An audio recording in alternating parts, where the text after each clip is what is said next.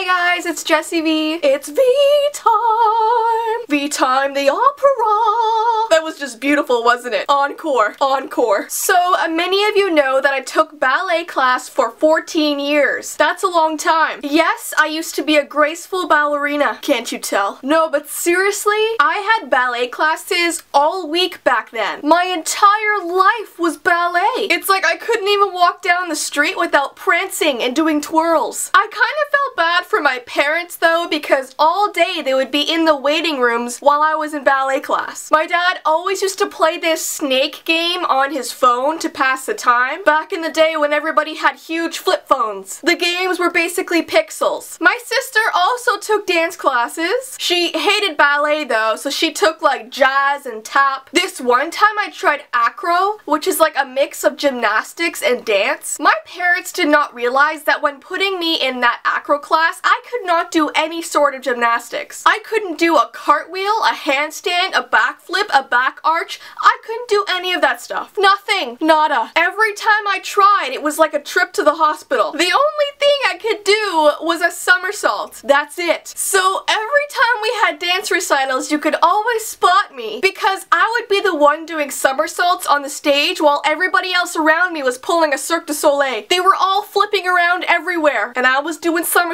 It was embarrassing, okay? I don't like to talk about it. Have you ever seen that video of the bear doing somersaults down a hill? That was basically me. But anyways, let's get back to the ballet. Like the title of this video suggests, I was attacked by a girl in my ballet class named Hannah. From the moment I met her, I knew she was a strange one. And like I've said before, I like strange and weird people, okay? But there's good strange and then there's creepy slash bad strange. Never mix those up. That's like the number one rule of strangeness. The first conversation I ever had with this girl, she told me that she wasn't from Earth. Like she believed she was actually an alien. At first I because any reasonable person would assume that she was joking, but she didn't laugh. No, she stared at me completely serious. She thought she belonged on another planet. She was literally out of this world. See what I did there? So for about a year, this girl and I became somewhat friends. We didn't really hang out outside of ballet class. I did invite her to a birthday party of mine though. But aside from that, we were just dance class friends. This one time, she hid my ballet shoes somewhere in the dance studio. And she told me to go find them. I was like, no, I am not a dog. You can't just throw my ballet shoes somewhere and tell me to go fetch them. Like, she did not want to tell me where she put them. Class was about to start and I was still looking for my shoes. She still would not tell me where they were. So I had to go and tell my ballet teacher. Because I mean, I had to dance. There's no such thing as barefoot ballet. Like, imagine a full ballet class with everybody barefoot. The place would smell like you've never smelt a stink before. Like Mr. Krabs likes to say, I smell a smelly smell that smells smelly. That was an old episode, by the way. If you remember that, high five through the screen. Go!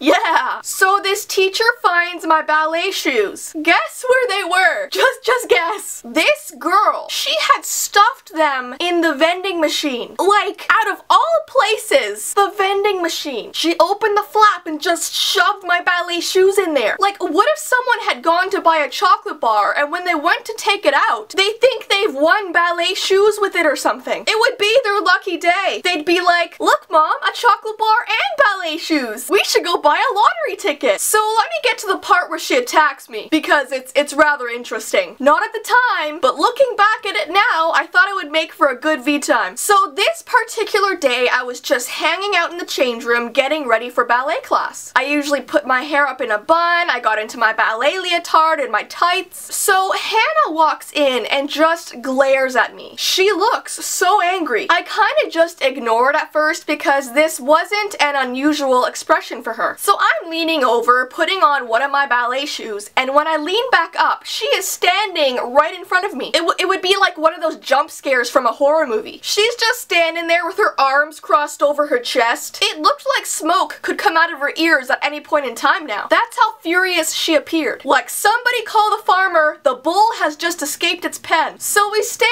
there, looking at each other for a couple seconds, and then she says, Why would you tell on me the other day? We were playing a simple game of hide and seek. This girl was still hung up the time she hid my ballet shoes and I had to tell the teacher. I was like, Hannah, class was about to start and you wouldn't tell me where they were. Then she got this close to my face and says, you shouldn't have done that. I actually thought her eyeballs were about to pop out of her head. Just, just hit me in the face with them. Boom, boom. She actually lost her jelly beans. She picks up a high-heeled shoe from the floor, swings it around for a second, and then smacks me in the forehead with it. Right in the forehead. She pulled a David and Goliath. And then she takes a few steps back and full speed runs right at me and knocks me over. She just pounces on me. Everyone in the change room is just gathering around us. They were all in a circle. It was circle time. I had no idea how to fight, so I was just kind of lying on the change room floor screaming and throwing my hands around. Finally, someone decent pulls her off of me and I start to cry. I mean, you gotta expect the tears were gonna come at some point. I was just crying and wailing. I sounded like Dory trying to imitate a whale. And I did what most little kids do. I ran to my mom, who was in the waiting room talking to Hannah's mom. I told her what happened and she saw the giant red bruise on my forehead. My mom turns to Hannah's mom and says, Did you see what your daughter just did to my daughter? And do you know what Hannah's mom says? This will blow your mind. She says, Yeah, she does that sometimes. Like, what? What?